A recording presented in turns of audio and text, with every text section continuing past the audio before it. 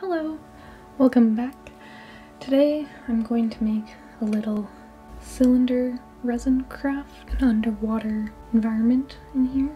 We have some sand and some two-part epoxy resin. My balance here, weigh out each part. I'm using a one-to-one ratio of epoxy resin and I have my gloves. I also have a little mold here that I got from Craft. If you can see that. And this has little coral pieces and sea creatures and fish. So I'll be using that to make my aquarium ocean themed thing.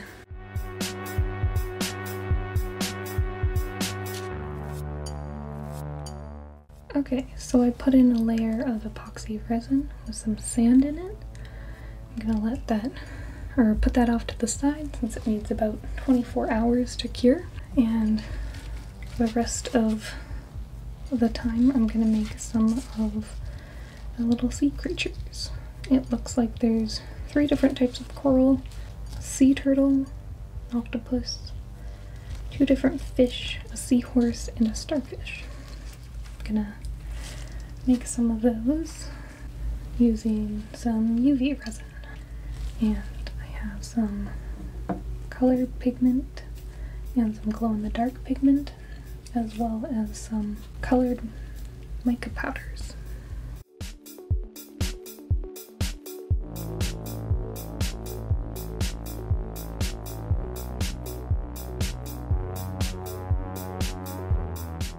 I have made some coral pieces and some critters with different techniques using mica powders and the resin colorants. I also put in another layer of sand and epoxy resin in here. There wasn't a lot. It wasn't very thick, so I thought a little bit more sand would be good. It needs to cure for another 24 hours.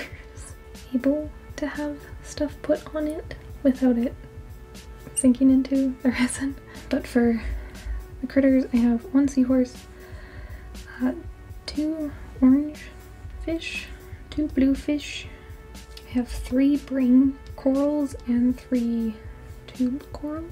And I have one like branchy coral. This one's a pain to make. I don't exactly have the smallest things to fill it in on the mold here. It is um, quite skinny sections and it looks really cool but uh, I struggled a lot with it. so I only have one of these, which I made green, which kind of matches my three sea turtles. So that's a possibly an oversight on my part. I have two starfish, a little octopus. These are obviously too much to fit in here, I think. But I'll probably do a few of the coral pieces, at least one brain coral, probably not all three. Not sure which one I like the best. And then I'll probably do either this sea turtle or this sea turtle, and I'll try to put it up so it's like actually swimming instead of like sitting on the bottom. And the fish I'll try to also put up and make it so it doesn't look like they're dead. Other than that, all the corals uh, will be going just on the sand. Uh, the starfish probably will as well since they don't really move through the water. Like, they move on the surface, but not like in the water. And the seahorse should be able to hook on to the branch coral like this or something. Oh dear, oh dear, oh dear. Stuck. Or maybe like this or something. I'll probably match the tube corals and the brain corals up with colors. Like these two shouldn't go together because they're very similar in color. These three look nice together. Like this one looks nice with either of these. And so does the yellow. But like this lighter yellow doesn't look as good with these two. I might do like these three or these three. with like the branch as well. Something like that, maybe with a little octopus with them. Although, like, the starfish also kind of match color-wise. So I might make another starfish. Maybe it will go with this.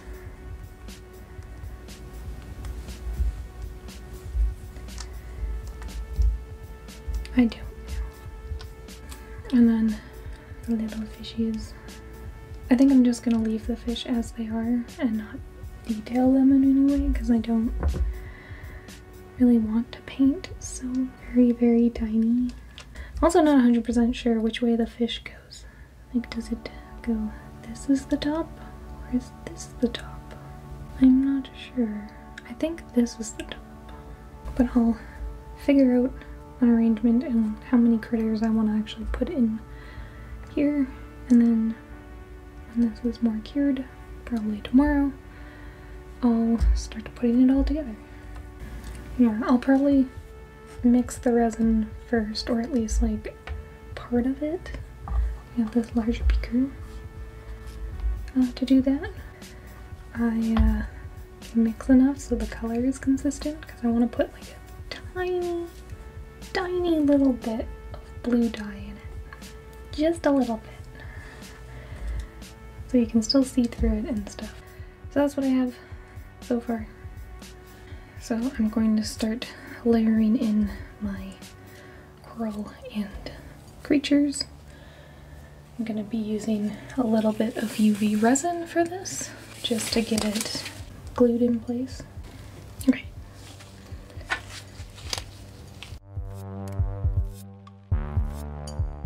So I have my three coral pieces I picked out and my starfish in here. I'm going to do a little bit of resin, epoxy resin, and then I'll figure out which sea creatures to put in.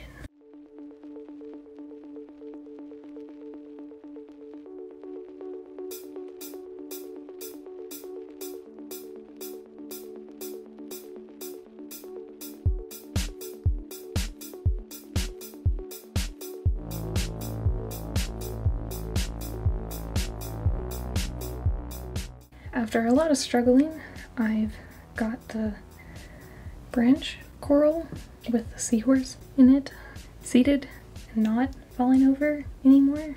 I guess I didn't put quite enough of the UV resin to glue it into place before putting the epoxy resin in there, so oops. It is a little dark in the blue color, so I'm gonna mix up some more epoxy resin and pour that on top, and hopefully it will, over time, fade, hopefully.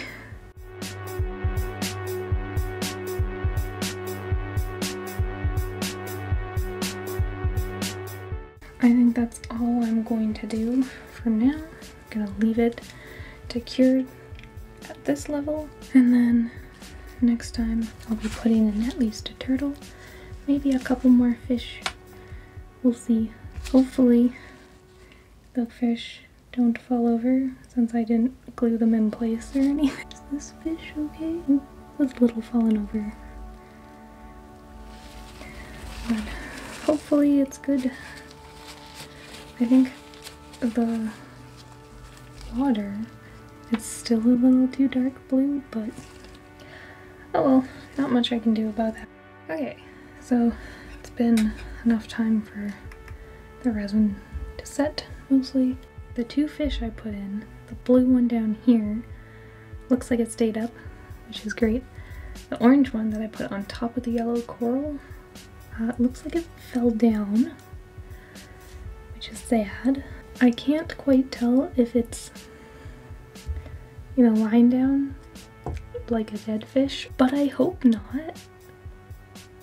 I kind of can't tell. It's a little too bubbly to see.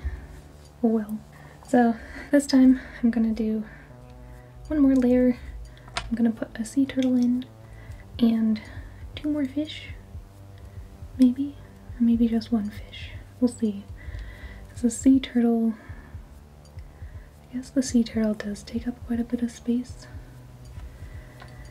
But this time I'm going to be using my UV resin to glue the fish into place so they don't fall over again.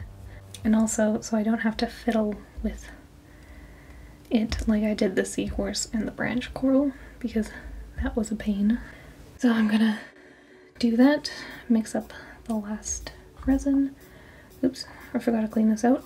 So I will be cleaning this out first and then we'll be mixing more resin, tinting it with a little bit of blue, hopefully not as dark as this, or I guess I should be similar color hue, otherwise it will look very separated.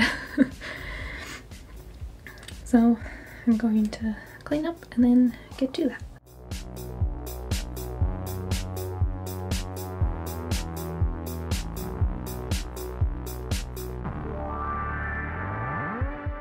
So I did one more layer. It looks like I'll need to do one last layer to get the turtle in. I want to put it put the turtle in about here. So at the like very top, the fish are in for now. And they're solidly in place. So it is cured again. I'm going to put some UV resin down and then put the little turtle on it. One more round of epoxy resin and then it'll be done.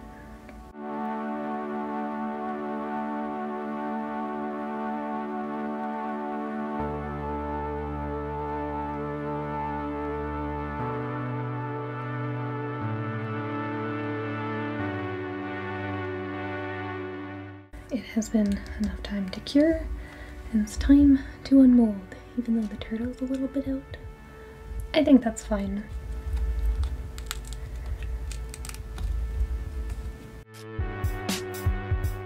I got it demolded, or unmolded. There's the silicone stuck in a few places.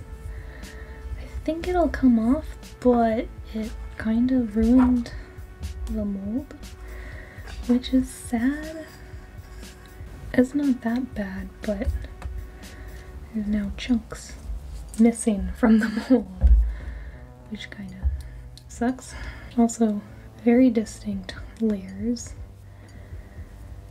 So, clearly I did not mix my blue very well, which is sad still looks pretty cool. Where's the... Oh, this fish did fall. That's so sad. Oh, and then you can see the two layers of sand I put in. It looks okay though. I think it wouldn't look so weird if this band of blue wasn't so dark. That's okay. So it is supposed to glow, or at least some of the coral is supposed to glow in the dark because I put in some of the glow in the dark pigment. Well, I might try that. Turn off the lights and then show that.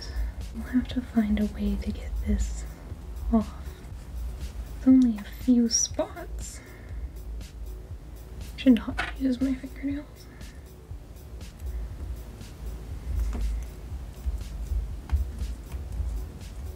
Maybe I should have used some mold release.